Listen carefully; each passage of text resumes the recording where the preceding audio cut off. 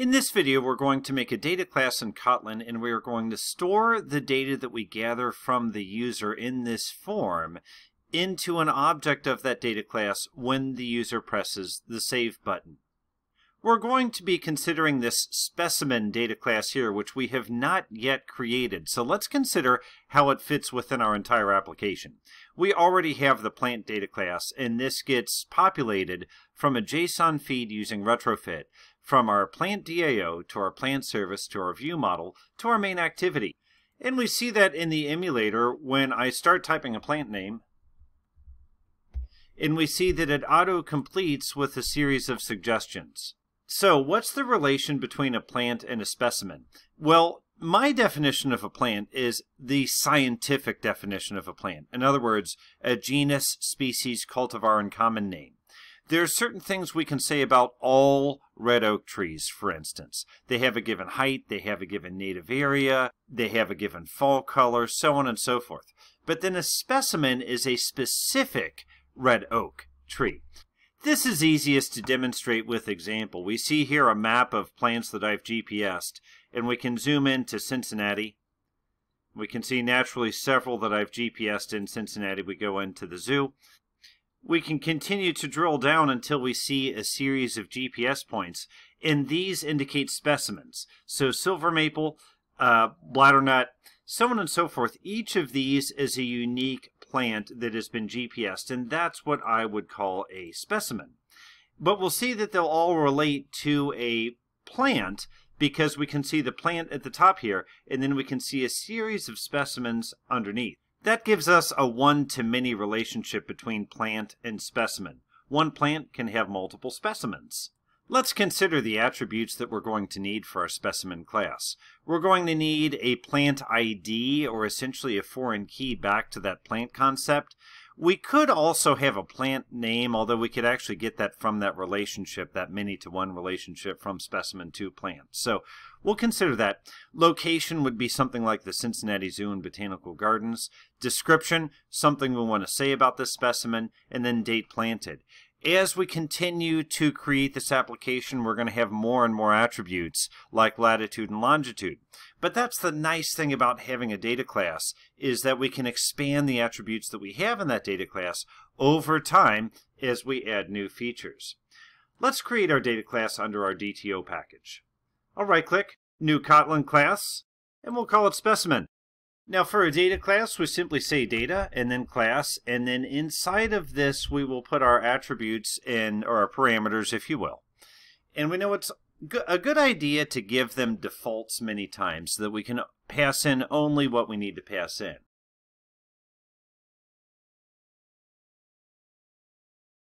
You see I've created several attributes here, all with default values. So plant ID initialized to 0, Plant name initialized to nothing. Specimen ID we have as a string. And I'm being a bit forward thinking here because I know I'm eventually going to save this into Firebase, which is going to use alphanumeric characters as unique identifier. So I'm going to make that a string, and that is essentially going to be an ID that we get from Firebase.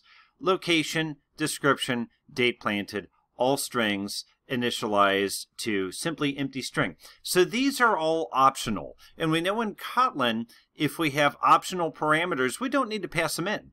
And as a matter of fact, we can pass in parameters out of order because we can specify which of these we're passing in at the time we are constructing an object of this class. So that's our data class. Let's go back now to our main activity and consider how we want to populate this data class.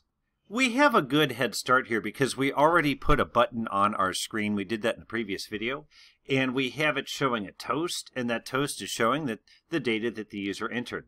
One footnote, this plant name here we no longer use. I might do a bit of refactoring on that, but nonetheless, we know this is the button where we want to create our specimen object. So we have a couple of options. We could simply say var specimen is new specimen. We'll go ahead and import. And we could pass in each of these values into the specimen constructor. And we could identify them each with their properties. So I could say plant name equals plant name, comma, location equals location, comma. description equals description, comma, date planted equals date planted. And I'll take off the dollar sign. That's just an artifact from using it in a string. So this would work because note that we are identifying each parameter with the parameter name that we gave in specimen. Plant ID, plant name, specimen ID, location, description, so on and so forth. So that's one way to do it. And we see the red line has gone away. That works perfectly fine. If you want to do it that way, do it that way. But one other option that we have. Remember our scoped functions. Scoped functions allow us to have a block of code where we're executing all of the code on one particular object. That might work a little bit better here because we might want to transform some of this data before we store it in with specimen. We might want to do some validation. We might want to reformat it. And that would be a bit clunky if we put it all inside of one function call, where a scoped function allows us to do a little bit of math on each of these before we actually assign it into the specimen. So for the scoped function that I want to use here, I would like something where I can refer to the object directly without using a variable name. So that would be a this call. And I also want to have it so it's not an extension function. So apply works out best in this case. Let's see how it works. I'm going to create the specimen object and I'll take out all of the stuff I passed into the constructor. We'll go ahead and take advantage of our defaults and simply use the empty constructor. And then I say dot apply. And notice it kind of helps me out here. Now within this, notice that the this object refers to the specimen that I have just created. So I can refer to those attributes that I declared in the specimen constructor directly. Plant name, plant ID, location, description, date planted. And then I can use our assignment operator and assign our user input to these different fields.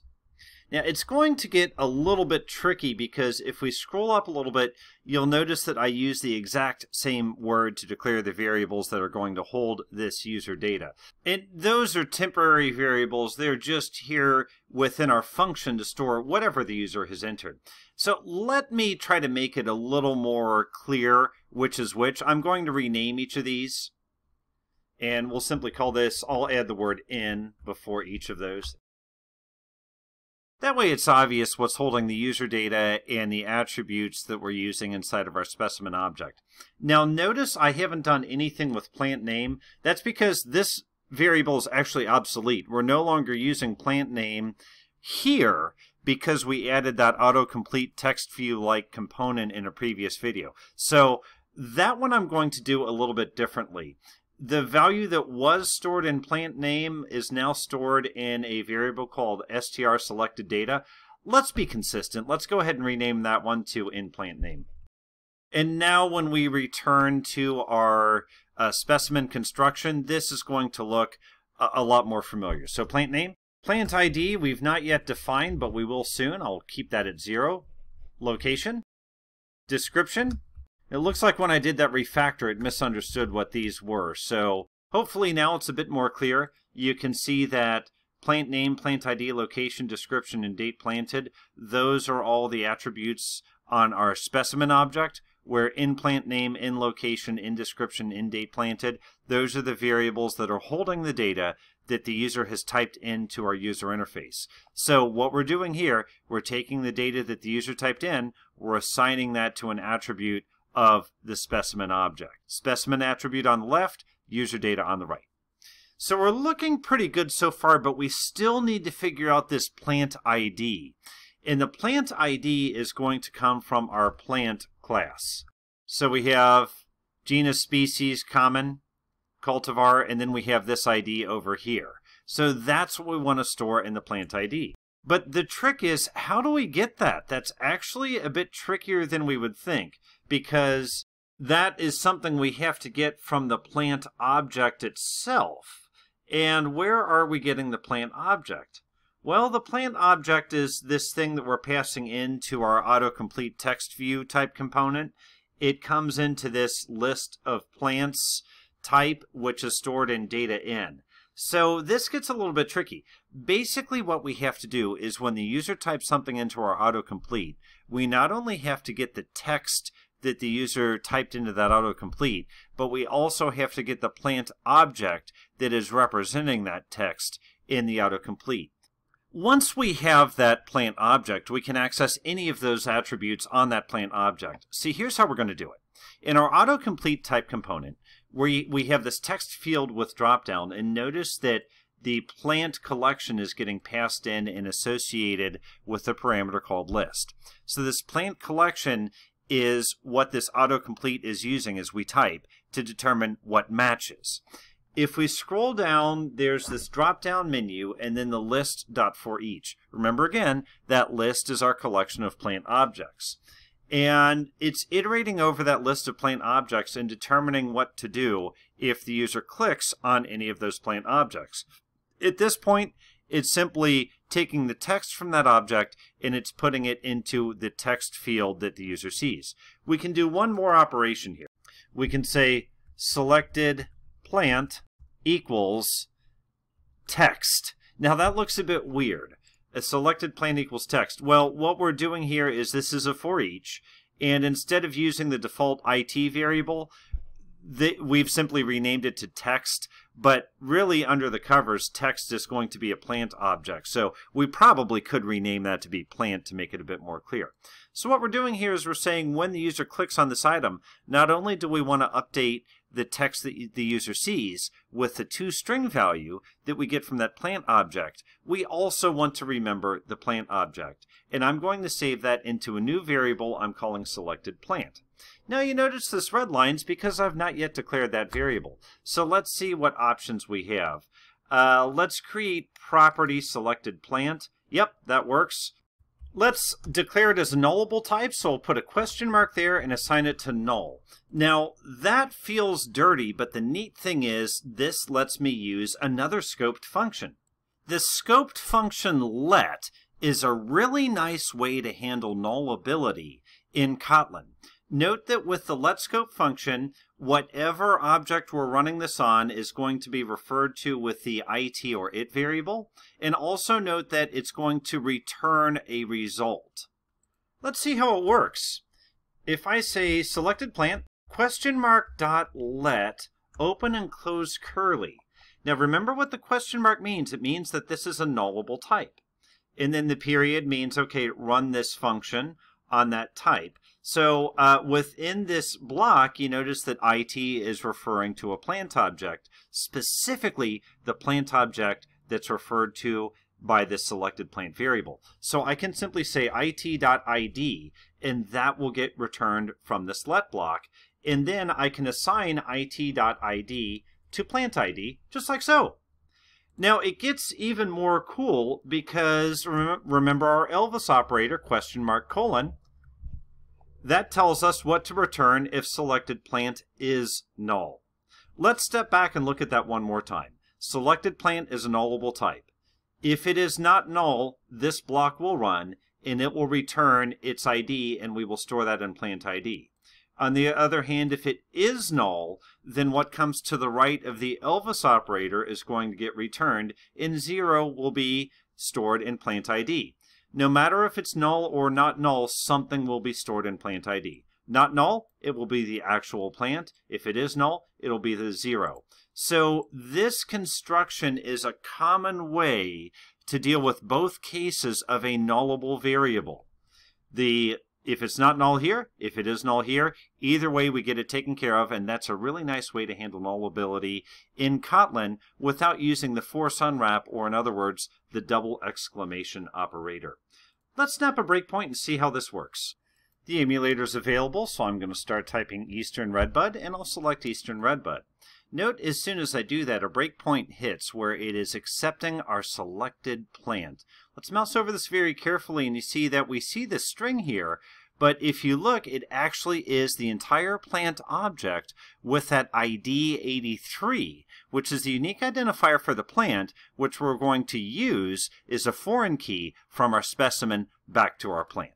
So let's go ahead and tell it to keep running. Location, we'll say University of Cincinnati.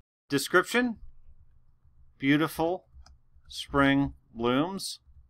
And date planted, let's say October 1995. And now here's the real tell. We hit save, and this is going to trigger all of the logic that we just put together. So take the plant name that the user entered, store it in the plant name attribute of specimen, and so on and so forth. I will step over these lines and we'll take a look at the final result. Now we see our let clause. Remember, this is where it's handling the nullability potential for, for selected plant. And plant ID is what? That should be 83. And sure enough, it's 83 because we know that our selected plant is populated with the plant that the user picked from that dropdown. Location, going to be what the user typed in. Description, date planted. And we move to the next line so that we can investigate this specimen object down here in our variables. And take a look, the specimen object, or an object of the data class specimen that we created, has a date planted of October 1995, description, beautiful spring blooms, location, University of Cincinnati, plant ID of 83, which is the correct ID, plant name of eastern redbud, and then specimen ID has not yet been set. But nonetheless, if you take a look at what's down here in our variables tab, you see that it perfectly matches the user entry. So I'm going to go ahead and tell this to continue. And at this point, we have successfully created a specimen data class, and we have populated an object of this data class. This now opens up a whole lot of potential for us. We can take this object and store it in Firebase. We can take the object and we can store it in a room database. Stay tuned. We'll have future videos where we do more with the specimen object. As always, I hope this video has been helpful. I look forward to reading your comments. Thank you.